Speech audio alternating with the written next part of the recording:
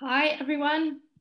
Uh, welcome to the animation coffee break with Nelvana's past and present talent. Uh, my name is Steph Barrington, and I'm the Director of Industry Programming at the Ottawa International Animation Festival. Um, before I go on, I would like to acknowledge that the OIAF operates on the traditional unceded territory of the Algonquin Anishinaabe people. The Algonquin Anishinaabe peoples have lived on this land since time immemorial, and we are grateful to have the opportunity to be present on this territory. We recognize that on this territory, Indigenous rights holders have endured historical oppression and continue to experience inequalities. Therefore, it is important to support Indigenous folks in their struggle for equality and freedom that many Canadians take for granted. Um, our partner for today's presentation, Nelvana, is headquartered in Toronto, the traditional territory of many nations, including the Mississaugas of the Credit, the Anishinaabe, the Chippewa, the Haudenosaunee, and the Wendat peoples, and is now home to many diverse First Nations, Inuit, and Métis peoples. Uh, we also acknowledge that Toronto is covered by Treaty 13 with the Mississaugas of the Credit. We encourage you all to reflect on the history, treaties, and traditional keepers of the land that you inhabit. Um, the OIAF is so excited to be a part of Nelvana's 50th anniversary celebrations. Uh, has been a longtime supporter and key collaborator of the OIAF and of the Canadian animation community. In 2004, Nelvana helped us to launch the animation conference, TAC, um, at OIAF, providing a forum in Canada for industry professionals to gather, network, learn, and share knowledge and resources. Their content has brought kids around the world together in laughter and learning over the last 50 years and we couldn't be more excited to help kick off their 50th anniversary celebrations with this coffee break. Um, a bit of Zoom housekeeping before we really get started. Um, just a reminder to please put any questions for the panelists in the Q&A function. Um, and now I'd like to introduce today's moderator, Pam Westman. Uh, as president of Nelvana, Pam oversees both the animation studio at Nelvana as well as Nelvana Enterprises, an integrated brand management company focused on merchandising and licensing. Prior to this position, Pam was head of Nelvana Enterprises, where she was instrumental in expanding Nelvana's content slate and played a leading role in establishing the company as the premier licensing agent in Canada, focused on character licensing. With over 20 years of experience within the kids entertainment industry, Pam has led businesses and key children's brands to strong growth across various markets. Um, I'll welcome all my panelists to turn on their cameras and unmute themselves. And Pam, I'll let you take it from here. Thank you, Steph, for that uh, kind introduction. And we're really excited to be partnering with the Ottawa International Animation Festival in celebration of our 50th anniversary.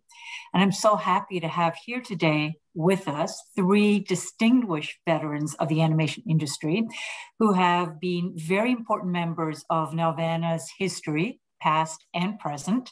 And collectively, just to let you know, we have over a 100 years of animation experience sitting here with us today among the three.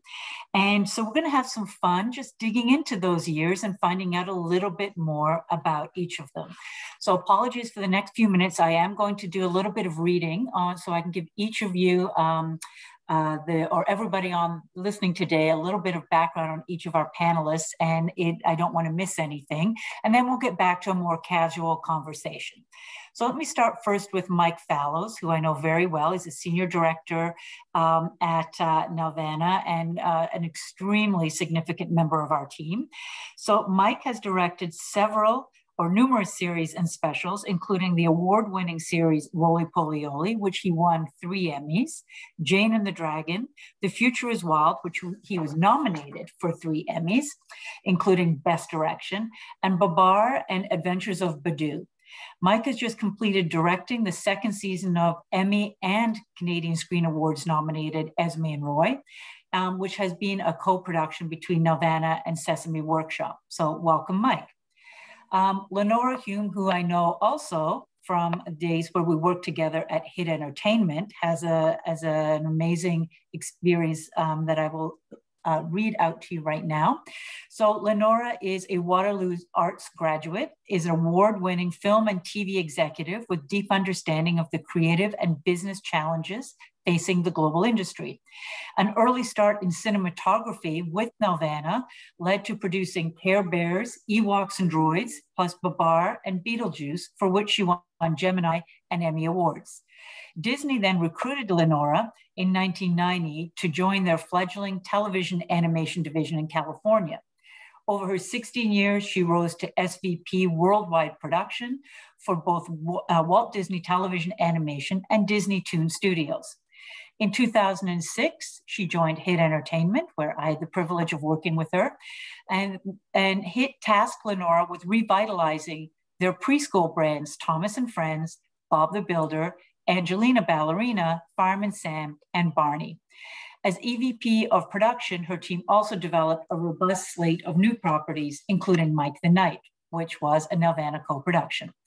After HIT in 2010, Lenora retired to Palm Desert, Palm Desert, California, and launched an independent production and consulting company.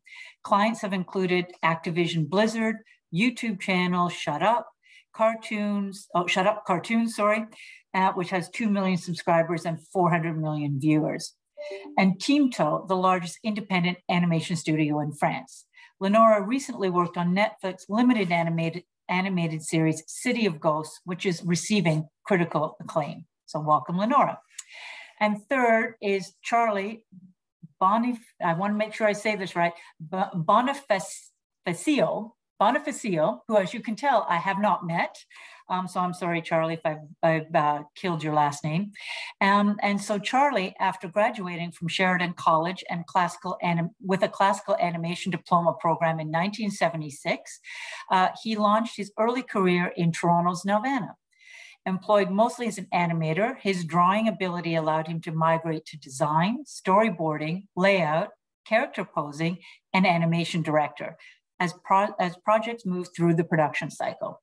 Charlie's career highlights include Nelvana's Rock and Rule, which is still uh, still has a strong following, Del- Disney's Hunchback, Mulan, Lilo and Stitch, as well as Starz Animation productions of Nine and Gnomeo and Juliet, an in-house director for production of four Disney Tinkerbell shorts and the first 10 shows of Disney's new Elena of Avalor. Charlie was character lead on Tangent Animation's new feature film, Next Gen, supervising animator on Sar- Sergio Pablos Klaus, and is currently character lead at Tangent Animation. So welcome, Charlie. So now we'll get into the, uh, the more fun, more casual conversations that I'm going to ask um, some um, of our panelists to help answer some questions. I'm also going to try and keep an eye on the Q&A uh, part of this Zoom call to see if I can ask some questions throughout this, um, this panel. And then if not, we will get to some panel, uh, some questions to the panelists at the end. So the first question I have for all three, and I'll, I'll make the rounds. Um, having worked at Nelvana, as well as some major animation studios within your career, what are some of the differences between working with a large studio versus an independent animation studio. So, Mike, I'll ask you that question first. Um, yeah, I guess the, the the differences perhaps are, I mean, because Nelvana has actually been both. So, um, but in the in the very early days uh, with Nelvana, it, it was it was such a small group of people that you actually knew everybody and in fact, in Nelvana's case, most everybody working there was of a similar age or at a, a similar place in their in their career. So, um, so it was very, um, you know, it was it was it was such a learning environment, and um, and and and it became sort of more like a family than anything else. And that's really a, a hard thing to to get uh, in a big studio. Yeah, yeah, I would I would assume a much more relaxed environment than within a corporation.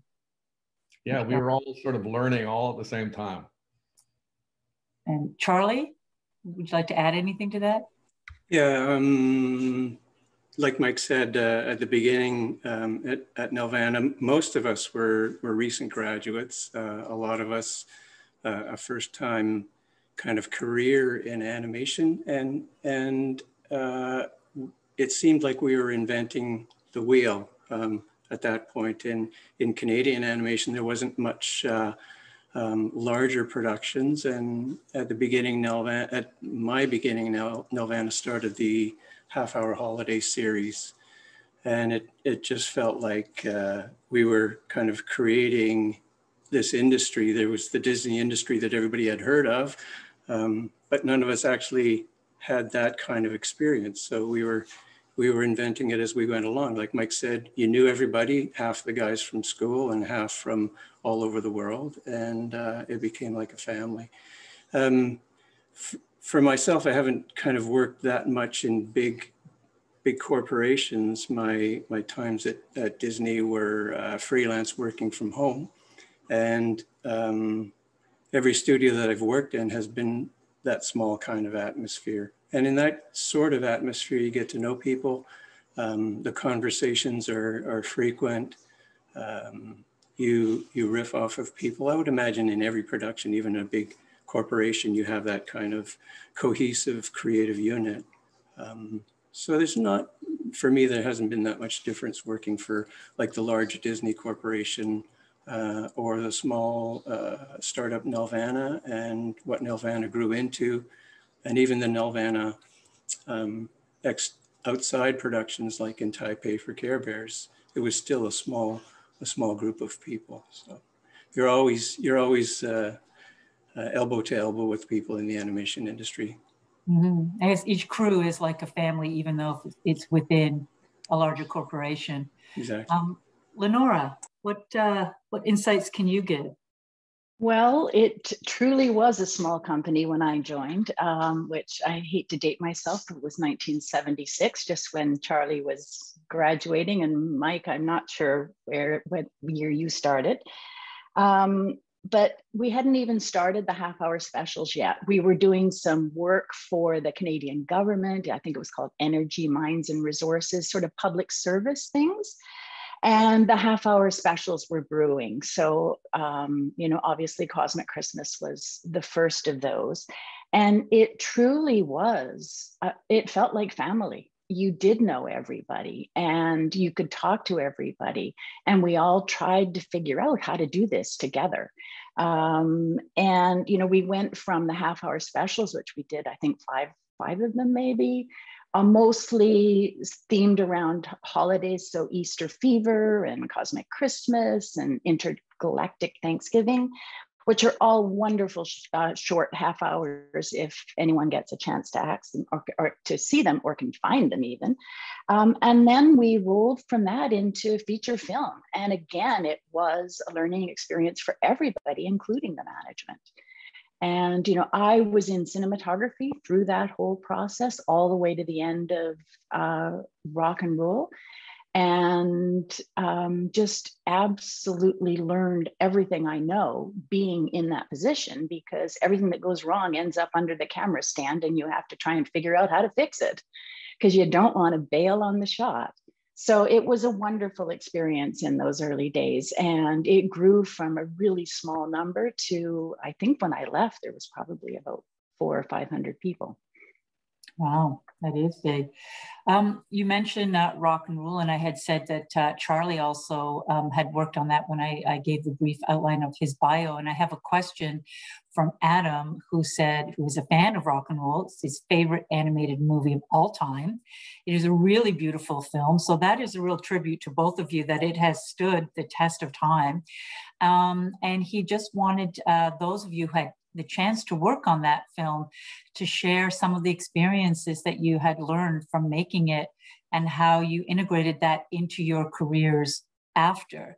And uh, before you say that, I'll just let you know that we do get requests every year for some independent film, well, obviously before COVID, COVID, independent film theater to have us send the reels out so that they can they can have a Rock and Rule evening. So it has definitely stood the test of time. So Charlie and Lenora, I think you both mentioned it. Mike, I'm not sure. Did you work on um, Rock and Rule?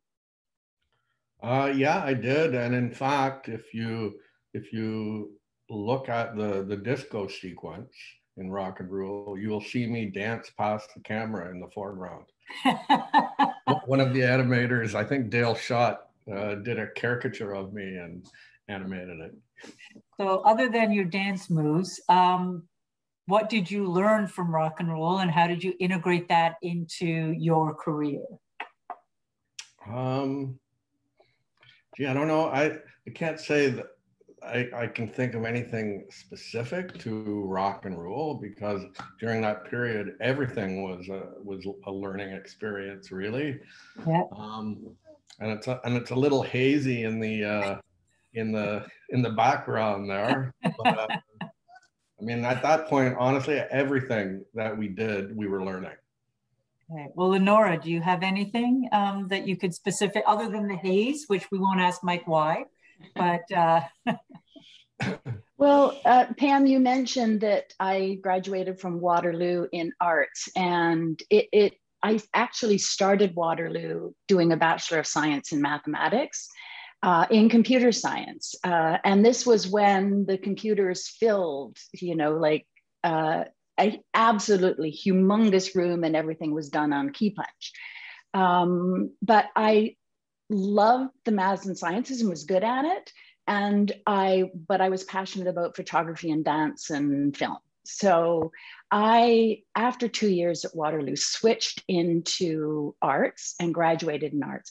And it was really that combination of the math and science and the creative that gave me the position that I ended up in at Waterloo. And it was just at the perfect time because, you know, motion control had not really picked up yet. So we started to put all sorts of really wonderful visual effects and creative camera effects in with the classical animation, which I think really distinguishes Rock and Rule. It is just this perfect mix of classical animation and state of the art visual effects. And Charlie, did you find that same experience? Um, from my perspective, I guess as um, a character animator, the, um, the, the growth into uh, Rock and Rule in terms of building the studio and finding the talent that kind of stuck around from show to show. Um, my own talents in, in terms of um, design, I, I, was designing characters almost um, probably from the second half hour onwards. Um, I was getting used to uh, production design, uh, tutored by Frank Nissen, who was the main production designer. Um, by the time we got to rock and rule, um, there was a pretty good system worked out in terms of the animation um, processes. But I think what, what really marked Rock and Rule in terms of animation was uh, we began a lot more to share um, how we how we animated and and start to study um, things like at the time Raggedy Ann and Andy uh, was a, a, feature film that was done, and, and John Celestri, who worked on that, would share processes about um, how he animated, how he thought about animation, how he thought about timing, how he how he worked out his um, his timing for shots and sequences, and finding poses that were key poses. Um, we were lucky enough back then, um, and I'm not sure how it happened. I imagine Patrick Clive and Michael uh, arranged for. Um, the, the two Disney animators, um, uh, Frank and Ollie. Frank and Ollie, forgot their names. Frank and Ollie came a couple of times during um, during Rock and Rule, uh, and I think it might have been pre their book or or they were marching out their book at the time and, and tutored us in, in their thoughts about the animation process. So there was a, there was a feeling like we were, we were learning, we were starting to, to do something in the feature film arena with um, kind of bumping up the quality of animation, trying to get uh, a bit more of that feature kind of feeling to the animation. And it was, uh, it was a creative, um, just melting pot with uh, like Chuck Gammage for me was was an incredible design influence, um, and Jean was a, a an incredible uh, animation influence as well. So for me, it was it was that real trying to create the Disney uh, method of, of doing feature film animation. Mm -hmm. Mm -hmm. Thank you. Um, in my experience, uh, which is uh, I've only been a few years with Nelvana, but have known about Nelvana my whole career, I have found that all roads in Canadian animation lead to Nelvana. Somehow, whenever I talk to anybody who has uh, worked in the animation business in Canada, they have worked uh, in some way with Nelvana. So um, I think that it really is a testament to um, the studio and, and how it has, has really um, been the foundation of the animation industry within Canada. As you think back on, on your time with Nelvana, what has been your favorite memory, either personally or um, professionally, the work that you've worked on? Um, so Charlie, I'll come back to you. I'll let you kick this one off. Um, what comes to mind uh, just right away um, is the relationship that I developed with John um, Lawrence Collins, the fifth Esquire. Um, John and I often sat really close uh, to one another and often went to lunch or dinners together and just had a really uh, fun and uh, creative relationship. Uh, John passed away a number of years ago and his sisters um, mailed me these little notes that we used to uh, write one another and toss over the dividers. Um, and we toss these notes back and forth. One of the notes I remember um, was I picked up this crumpled piece of paper and opened it up and it, it said sigh of relief. So John had heaved a sigh of relief over the, over the, over the divider. So that, uh, I think that relationship was um, one of my fondest memories and, and just, I guess, the, the atmosphere and the friendship and you know, the, hanging around the cafeteria that the company had built for for its members and and uh, just that family kind of feeling to the whole place. Mm-hmm. Mm-hmm. Lenora, what's your favorite memory of your time at Nelvana? You know, Rock and Rule was such a long, hard road um, with sort of heartfelt memories, heartwarming memories, and heart wrenching memories. It um, it we all put everything into that movie um, and again it just world class animation talent from all over the world. Uh, just fabulous direction wonderful designs. It was just an experience that you know and it went on for about five years. Um, you know the difficulty with that movie was there was a lot of turmoil in the US it was originally with MGM and a lot of turmoil it ended up not getting a proper release which after having spent so much of your life working on a creative process like that to have it not see really the light of day. But the fabulous thing is, is the animation talent around the world did recognize what went into that, and it does remain a cult film um, that is appreciated by animation aficionados all over the world. And I don't think I've ever gone anywhere in the world where if I mention I was from Nelvana, I get asked about Rock and Rule. It's just fabulous. Amazing. And Mike, what's your favorite? You're you're still at Nelvana, so you're still creating Nelvana memories. Um, so what uh, what is yours?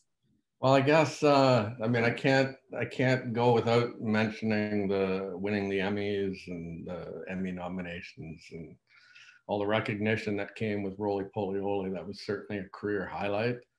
Um, I would say um, I got sent to to Paris I forget what year, but um, and uh, what I, I was sent over there to shepherd, uh, I think about five episodes of Rupert that were being done uh, digital uh, ink paint composite. And that was the very first for Nelvana. And, uh, and it was, it, it, was the beginning of the big change uh, in our business but it was also a significant turning point for me in terms of my career direction because I, I went full on into digital, digital after that. And then on uh, one silly story or one little story I'll say is that, uh, well, Charlie mentioned Chuck Gammage. Well, many years ago, Chuck uh, came into my office, asked me to come with him. And we went into Patrick's office. And Chuck said to Patrick, This guy should be directing for you. And shortly after that, I got my first uh, direction, directing position, and and that and that changed everything. Interesting, interesting. Yes, Mike is still, as I say, he is still uh, still very much a part of our of our world, and and we appreciate his experience. We have to make sure that we use it, and, and he helps mentor people within our studio, and we we tap into uh, his experience all the time. Um, as we've mentioned, we're celebrating 50 years, which is uh, unbelievable. And I, I, don't know if it's the longest independent studio uh, lifespan, but I'm going to say if it's not, it certainly is up there. Um, and I just ask for the three of you who have been within Nelvana as well as out uh, in the animation world, what do you contribute to Nelvana's longevity? How have they survived and thrived? Um, what do you think it is? So, Lenora, I'll start with you this time. Okay. Well, you know, I think there was initially at Nelvana a perfect storm of talent in the creators of the company. It, uh, with Patrick, Michael, and Clive, you have creative, business, and production. And I learned from all three of them. You know, Clive, musician himself, fabulous artist, wonderful director, um, taught me a lot, you know, as I was in camera. Um, Michael was sort of our out there business guy, out there selling, trying to find work for the company as well. And Patrick was really my mentor from a production perspective. I did, um, after having done camera for many years, I took a few months off and had a child and came back as head of production and worked under Patrick for uh, the first um, year and then started producing and did it for another eight years after that. So it really, the, the creative talent, and I mean that including business in that company, um, really worked to launch Nelvana um, into an American market, which was very difficult for a Canadian company at that point. Yes, definitely. Um, Charlie, do you think contributes to our longevity? Yeah, I would, I would certainly echo the same um, about the three founders of that, uh, uh, of Nelvana, Patrick, Michael, and Clive. Um, I think they had the foresight to tap into the Canadian market to, to establish a footing in the animation industry and build up their expertise.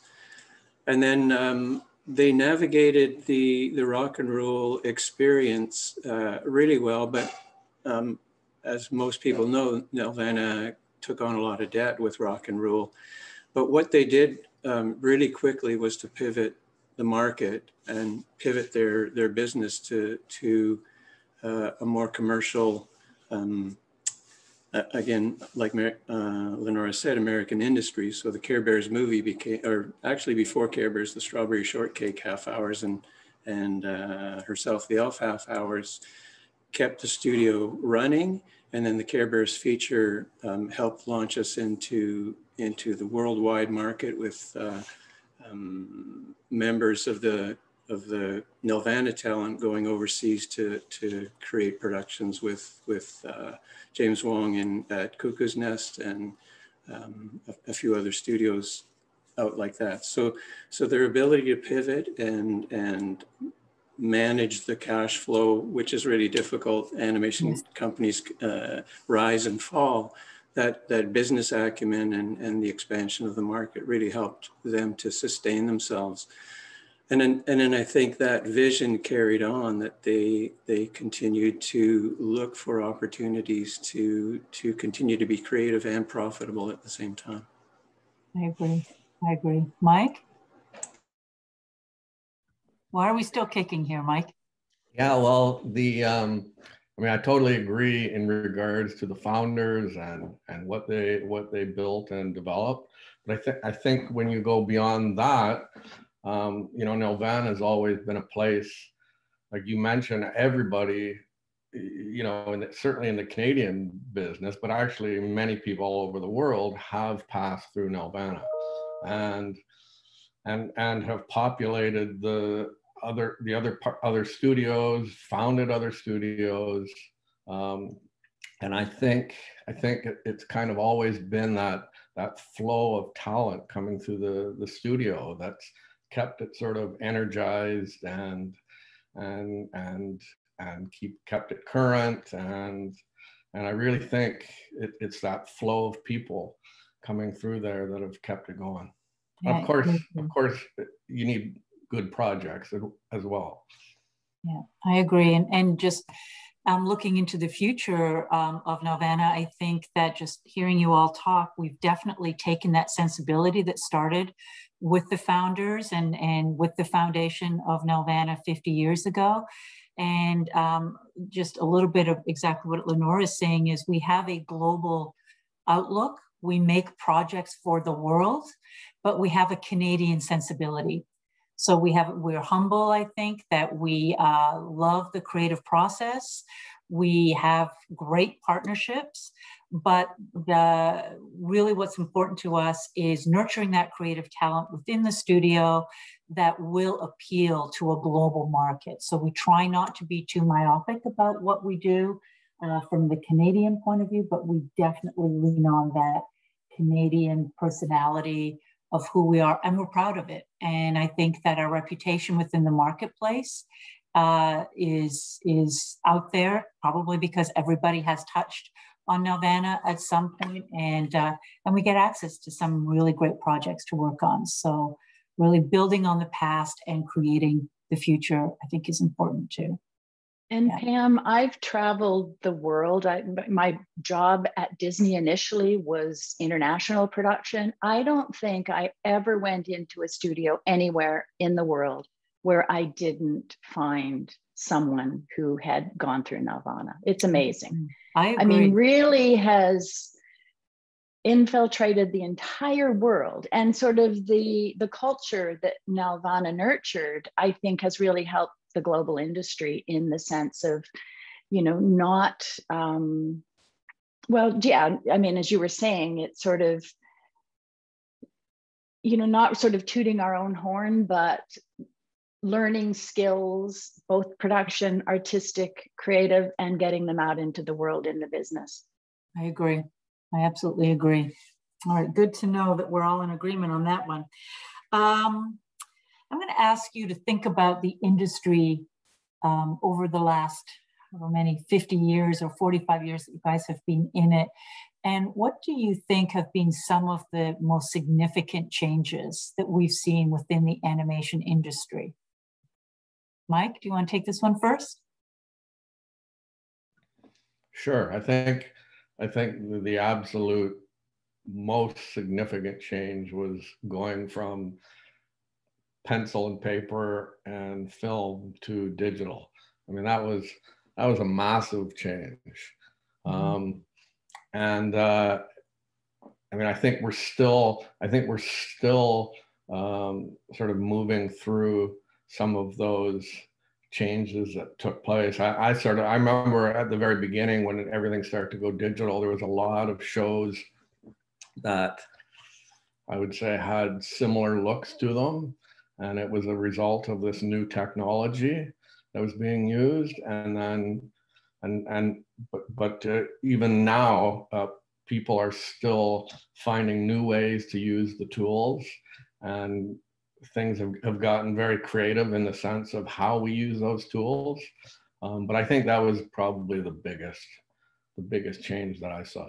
Yeah yes definitely. Charlie yeah, I'd say the same thing. I avoided the uh, the digital world for years. uh, tried to keep drawing with pencil um, and was successful in that, but at a certain point, I had to to buckle and join the CG animation industry.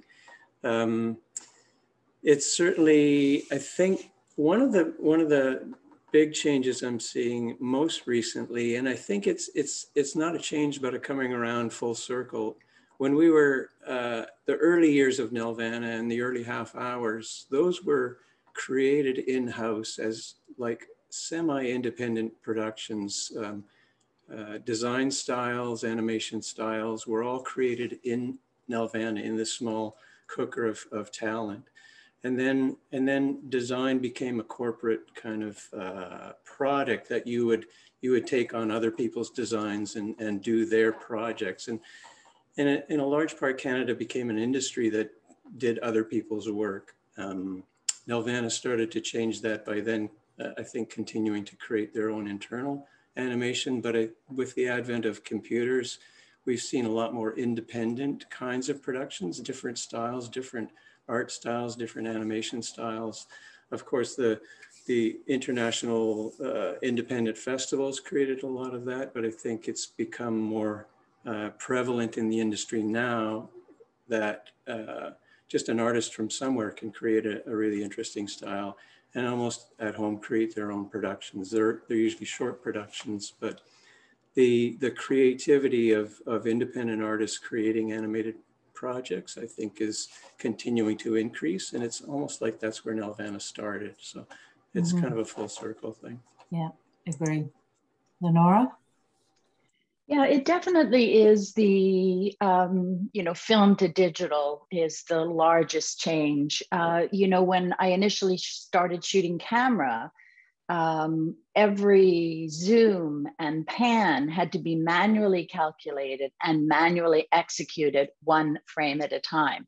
And at the, the initial camera we had at Nelvana was an old Oxberry. I, I no, actually before that, it was it was a camera that had been cobbled together from boat parts. Um, and the way to do a fade was at the top of the camera. So I've never been more physically fit than when I was shooting camera because every frame I had to climb up that ladder, move the fade, and then climb back down, move the artwork, and then take the shot. I mean, it, it was very, very time consuming. And at that point, when we went from sort of doing our own productions into service work, we didn't, I mean, telex was the way of communicating with overseas. And imagine trying to communicate visual artwork with a telex typing. Right. You know, it was impossible. When the fax machine came in, we thought we'd died and gone to heaven, you know, because you could actually send a drawing overnight. Um, you know, and then uh, motion control started. So, you know, it went from me having to sort of manually calculate every camera move to then being able to program the camera to do it. And again, that's just my mix of sort of the photography side and the computers allowed me to have that ability to do computer programming and to to sort of ride that wave. And you know i then went on to disney. Oh and mike i was just going to say there was one background. I don't know if everybody knows this but there was one digital background in the Babar opening sequence that we painted in a studio in France. One background. That was, I think, the very first use of digital at Nelvana. And, you know, when we, you know, then go overseas, it's just, you know, it's just this phenomenal wave. Um, and I had no problem as an executive and a creative with that whole transition because of the roots that I had in my first couple of years at university. So I just happened to be at the right place at the right time. And Patrick, Michael, and Clive recognized that skill set for I don't know why, but it was just, you know, when you think about animation, it's movement, it's photography, it's art. And I just had a little bit of all of that in my background, and they recognized it. That is good. That is good. Sometimes it is just being the right place at the right time. Um, but I, I think you also have to have the background. Oh, go ahead, Mike. Sorry, I was sorry. I, I was just going to mention that when uh, when I was working on Donkey Kong Country, which was motion capture, uh, we were doing it in Paris, and I was going back and forth between Toronto and Paris. And at one point, I went in. I I told Patrick that I had the ability through the internet to check the animation from my desk and um, that they could send it to me. Except the problem was there was only three internet connections in the studio. And, and Patrick's was one of them, and he wasn't really using it for anything. So he gave me his connection. and what would we do without being connected? I mean, just with with COVID, we moved everybody over 270 people from the studio to working from home in three weeks. And that would never we would have had to shut down if we were not able to you know all plug in and, and connect um, digitally and, and be able to animate digitally. So yeah it really has changed the industry as one of the recent things i think that's probably really significant because most companies never wanted to have their ip out in people's houses so yeah. that they restricted uh, production to a studio and there's been so many animated productions done from home in the last uh, year and a half. Absolutely. Well, we did insist that we they use um, Nelvana workstations so that we could just control people getting hacked and and things like that. But yeah, if we'd have thought about moving our studio virtually before COVID, we would have probably talked about it for a year and a half given it a three year timetable and then, you know, probably still been delayed a couple of years. And we did it in three weeks. So, you know, just goes to show you you can do it. And our animation studio has not lost a beat. People are, are, are you know, doing, we're very productive at home. And the creative urge doesn't always work nine to five in downtown Toronto. Sometimes it needs to be in different environments at different times of the day. So I think this has worked. Uh, if there is a silver lining, it, it has been that bringing a little bit of more that creative um, process to, um, to the production. So it's worked very well. Um, the three of you have had amazingly successful careers. And uh, we have, uh, I would say, 50% of, of the audience are people who have five years or less experience. Um, and so, what advice would you give to people who are in those fledgling years of their careers as to how to be, how to grow um, their careers as well as how to stay motivated? Because I know, you know, working an animated series can be two years of a grind how do you stay motivated to continue to create as well as then grow your career and advance? Um, Lenora, why don't you take that? Well, you're in the animation industry in the first place. You either are crazy or passionate or both, you know, because it is a very tedious process, even now in the digital world. Um, you know, so what I found with everybody that ends up in animation is that they're there for a reason. They're there because they're passionate about the art form and they're there um, because of a talent that they have. So it just stick with it. It's it's never easy. Um, but it is it is such a fulfilling career and there are just so many opportunities not only in the art form of animation, but in a huge variety of businesses from architecture to medicine to policing to everything. So it's it's a skill that once you learn it i don't think you're ever going to look back and there will be opportunities in whatever channel you choose to go down. Okay thank you. Um, uh, just before i move on a couple of people have asked how they can you know um, get into the industry or fresh out of school how do they get an opportunity? I did answer one of the questions in the q&a with the contact information of our recruiter within the studio.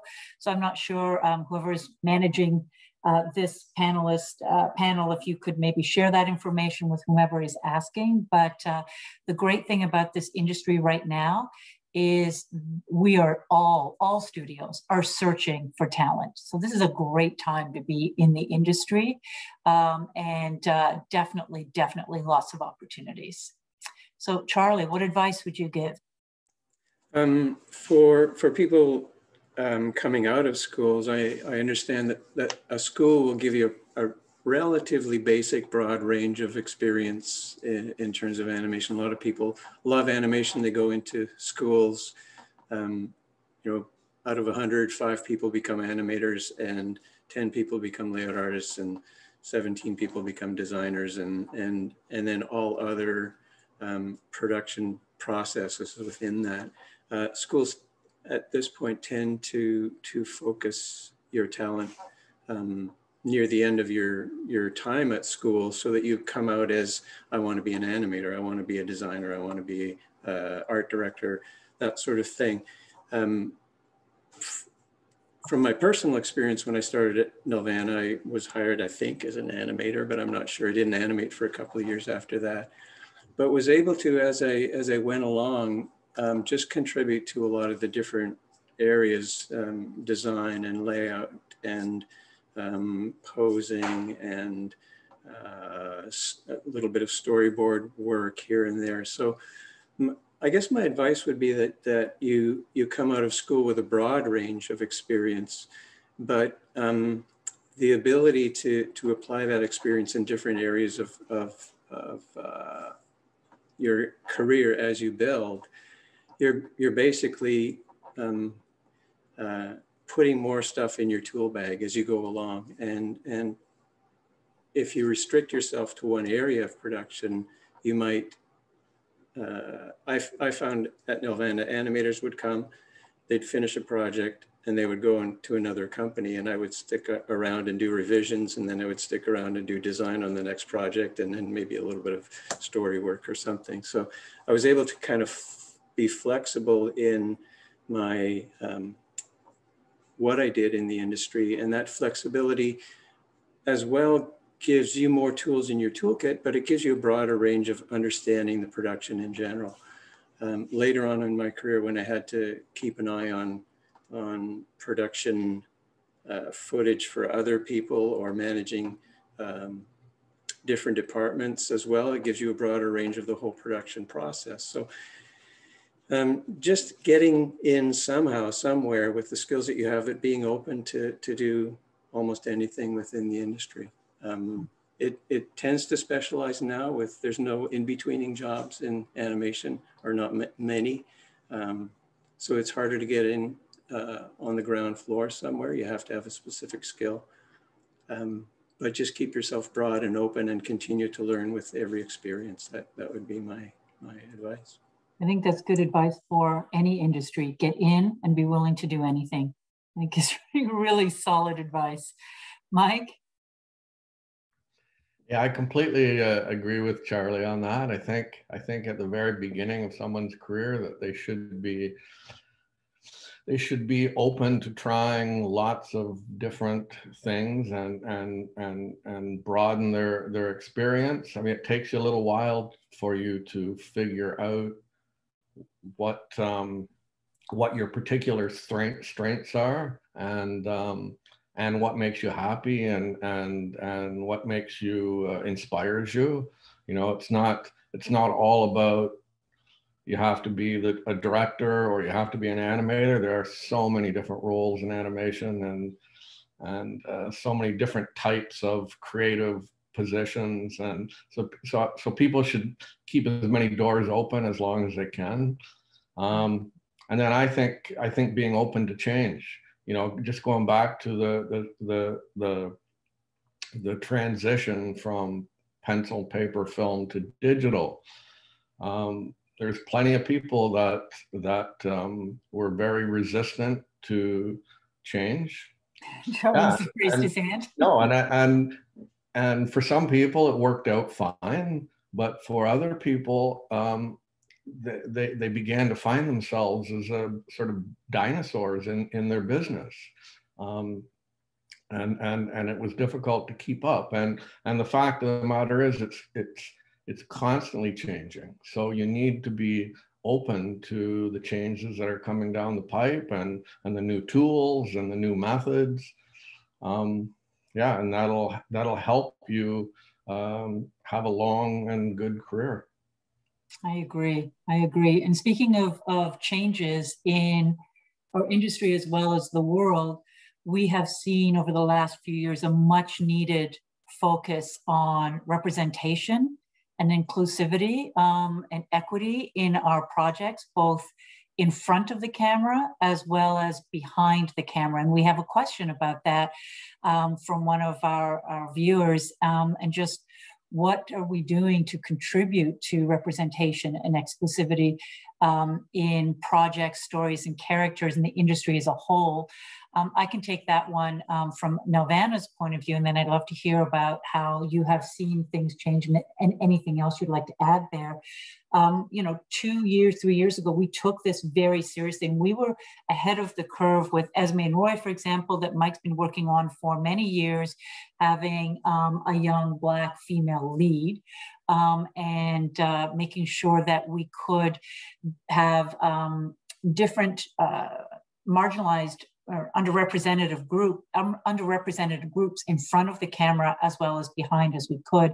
But the last two years we've really taken a focus on that and created commitments within our studio with uh, the voice talent with uh, the writers with development projects and as well as uh, developing um, help reaching out into the community for incubator programs.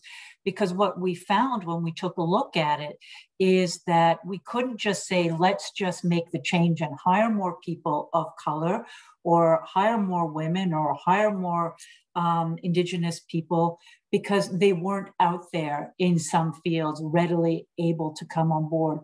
So from Nelvana's point of view, we've taken a step further and tried to um, develop programs that will reach into the community to develop young talent, to encourage people to move from film into animation um, in diverse um, neighborhoods that perhaps could not send their kids to voice talent auditions, for example, at three o'clock on a Tuesday afternoon downtown Toronto because both parents worked or it was a single parent home or they just didn't live in that neighborhood, we've now started to reach out into diverse neighborhoods, into schools to allow those kids to try and audition for voice talent. So we are extremely committed.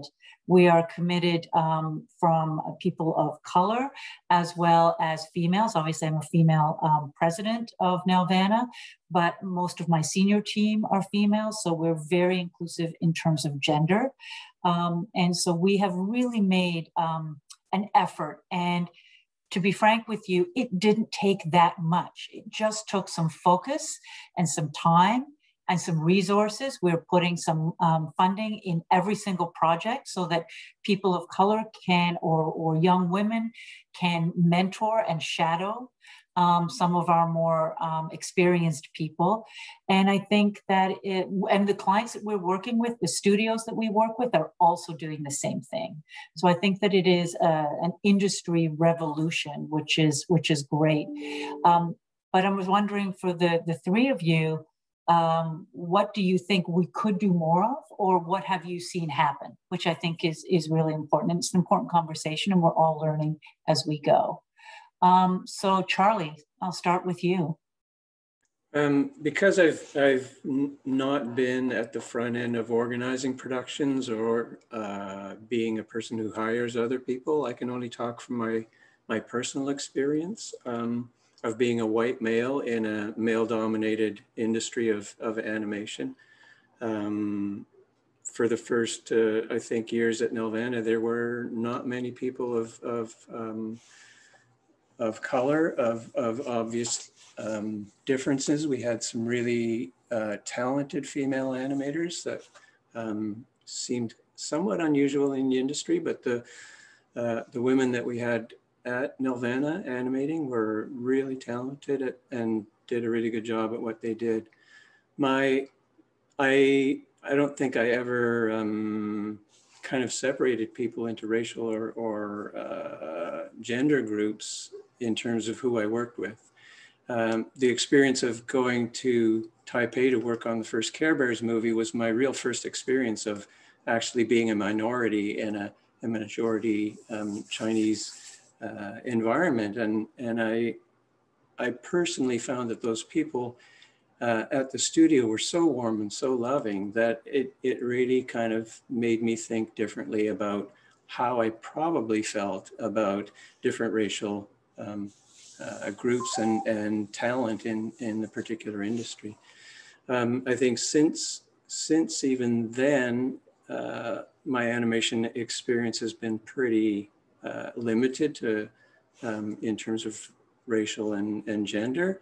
Um, but my most recent uh, experiences are, are with uh, tangent animation, and there are people of, of every kind in, in every position as well.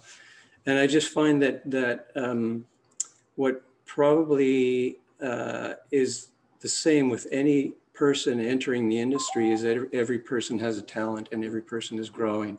And when you realize that that the people that you work with are really talented in some area and growing, um, it becomes a relationship with that person's talent. It, it there's there's no kind of real uh, gender or racial divisions between people. It's uh, everybody's on the same team. So, mm-hmm. and, you know, I haven't I haven't been able to choose the people that I work with, but but out of that, I, I have a real appreciation for just the talent that every every individual brings to the table. I think you're right, though, Charlie. It's, it's getting people in, giving them the opportunities, going to where you know, encouraging them to start within the industry. Yeah, exactly. I, I often thought that it, the the people who worked at Walt Disney Animation in in uh, in LA for years and years had the opportunity to work as animators for their whole careers. And, and my career was like going from one thing to the other thing to the other thing. So that opportunity that they had uh, at the Disney studio to, to be full on feature film animators for you know, 40 years was really, um, to me, it was an insight into opportunity. And when people have opportunity, they can, they can grow within that opportunity. And, and that's what I think um, by hiring a diverse uh, selection of people, you just give people that opportunity. Um, we only have a couple minutes left, but Lenora, talk to us about being a female in this industry and, and the differences you see now. Um, you know, I have never had issue with advancing or my career because I was a woman. So again, I think it's because of great mentoring in the early days.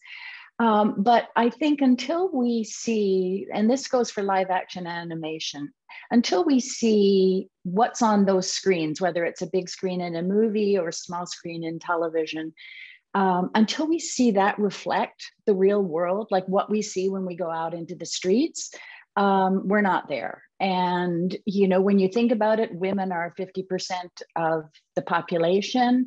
Um, there's a lot of women involved in production, but there's not nearly enough involved in the creative processes in the art form. So we need women directors, we need women art directors, we need women writers, because until you get that female perspective into the storytelling and onto the screen, it's it's not equal.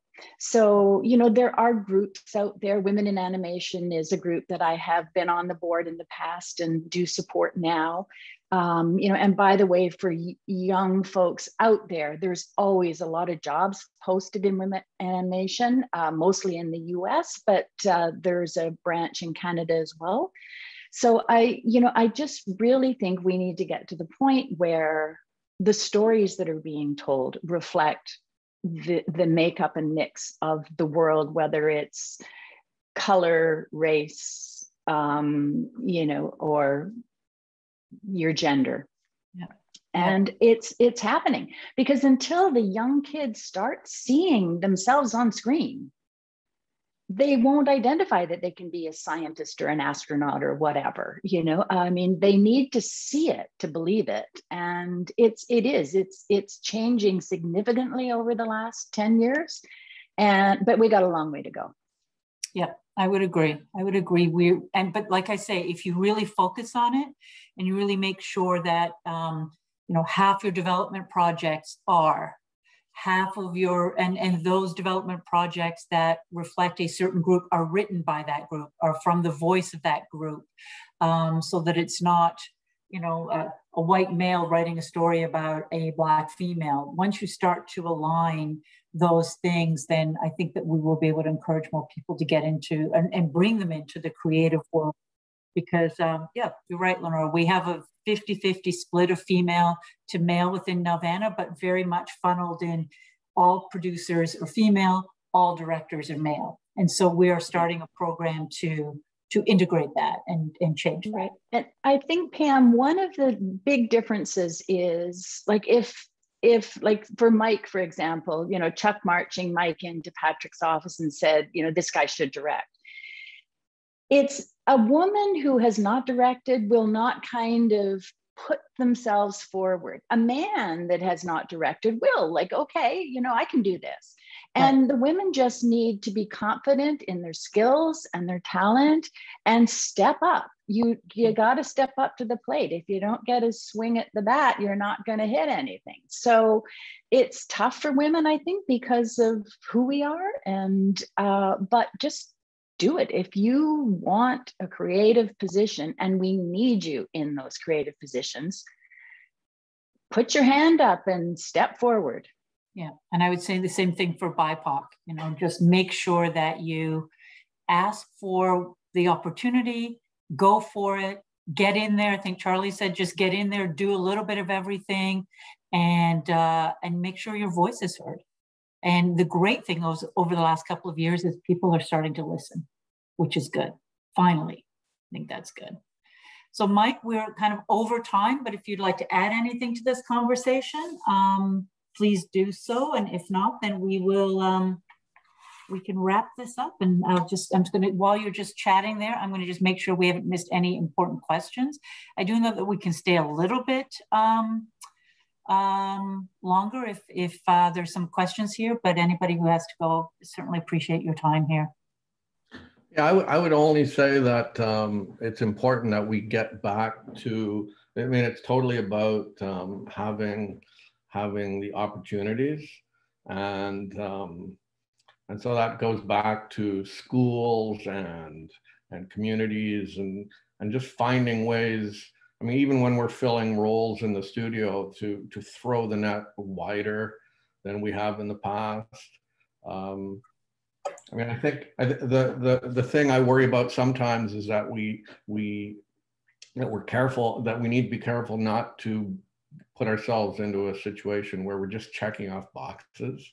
And I think I think the the beauty of of Esme and Roy is simply that the the only human uh, in that series and the lead is a, a black girl, and there, there there's there's no nothing is, is particularly made of that that it just happens to be and and i think i think that's the way it should be for for for all productions.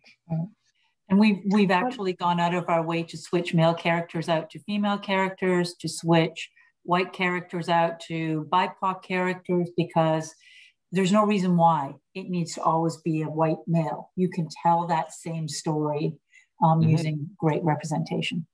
But yeah, if, you, if there's a sense of of just checking off the boxes, you know, we have we have a person of, of, of, of this color and we have, you know. You can't I, do that either. I no. think people will, will push back against that. Yeah. It, it's not. Pam, yes. I see Arna Selznick is in the question and answers, and I must give her a shout out. Arna was probably one of the first female directors of an animated feature, given that opportunity at Nelvana, and has continued to direct and never had issue with stepping forward. So, I mean, there are women that will present themselves, but mm. I just encourage everybody who is having that second thought to step forward. And uh, Arna is a great example of someone who um, had a great career um, at Nelvana and came back uh, three or four years ago and did our most magnificent thing feature and did a beautiful job. Award, made the rounds of the film festivals, won many awards. So yes, we need definitely more. So, um, well, we've reached the end. We've actually a little bit over. So I'm going to pass it back to Steph. Sorry for us running over, Steph. No, all good. Thank you for this engaging conversation. Uh, thank you, Pam. Thank you, Charlie, Lenora, Mike. Uh, this was really wonderful to have you guys. Um, thanks to our audience and those who are posting questions. And also thanks to our behind the scenes tech team, Alexander, Amanda, Angie, Emily. Um, this was great. Uh, before our panelists sign off, we wanna take a quick screenshot. So everyone get ready to smile and we'll count down. ready? Uh, three, two, one. Love it. Okay, great. Thank you all so much. Thank you. Bye-bye. Take care. Great. It's great to be here. Thank you. Bye. It was wonderful.